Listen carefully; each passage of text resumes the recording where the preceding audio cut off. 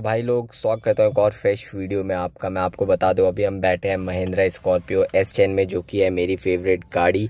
यहाँ पर मैं आपको बता दूँ, कोई और गाड़ी अगर आप स्टार्ट करते हैं ना तो उसका गेयर नॉब ना बिल्कुल नहीं हिलता है या हल्का सा ऐसे शेक करता है। पर वहीं पर अगर हम महिंद्रा की स्कॉर्पियो की बात करें तो कितना हिलता है मैं आपको देख के बता देता हूँ। तो गाड़ी है न्यूट्रल पे, आप देख सकते हैं यहाँ पर गाड़ी को ऑलरेडी इग्निशन दे दिया बस क्लच पे पैर रखा है क्लच दबाया है, क्योंकि हमेशा गाड़ी आप स्टार्ट करें तो क्लच दबा के गियर पे आपका निगाहें, यानी आप गियर को देखिएगा कि कितना हिलता है यहाँ पर। तो ready one two three go आप देख सकते हैं कितना तेज़ी से ये ऐसे ऐसे शेक करता है गियर नॉब फिर से मैं आपको दिखाता हूँ, आप ध्यान दीजिएगा इस पर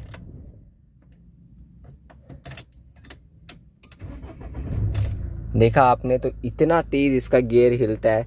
तो ये है यार, और जब भी गाड़ी स्टार्ट चलती भी है तो ये हल्का बहुत शेकी है। अगर आप इसके ऊपर हाथ रखेंगे तो आपका हाथ वाइब्रेट करता रहेगा ऐसे ऐसे आप देख सकते हो यहाँ पर। ध्यान अगर आप देंगे तो।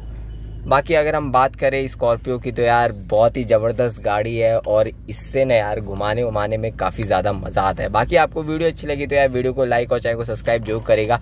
बताइएगा यार अपनी स्कॉर्पियो कैसी अपना भाई बगल में बैठा है, ठीक है? तो यहाँ पर आपको मैं दिखा दूँ, ये है स्कॉर्पियो का मज़ा या ये इतनी तगड़ी गाड़ी है ना यार कि इस ये जितना भी हिले हमें उससे मतलब नहीं, हमें तो भाई इसको चलाने में मज़ा आता है। जो कमांडिंग पोजीशन पे आप बैठते हो, ये कमांडिंग पोजीशन आपको और किसी गाड़ी में नहीं मिलता है। पूरा एज टू एज यहाँ पर दिखाई देता है। बाकी वीडियो अच्छी लगी तो वीडियो को लाइक और चैनल को सब्सक्राइब जो करेगा। बिना सब्सक्राइब करे बिना मत जाएगा। फोर व्हीलर चाहते हैं तो यार सीट बेल्ट प्रॉपर तरीके से लगाएँ। टू व्हीलर चाहते हैं हेलमेट ज़रूर पहनिए।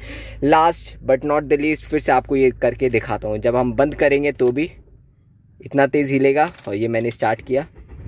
तो भी इतना तेज़ हिलेगा। Signing off Raftaar seventy eight जय हिंद जय भारत।